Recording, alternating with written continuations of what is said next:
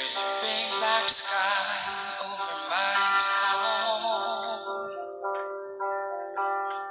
Mm, I know where you're at, but he survived.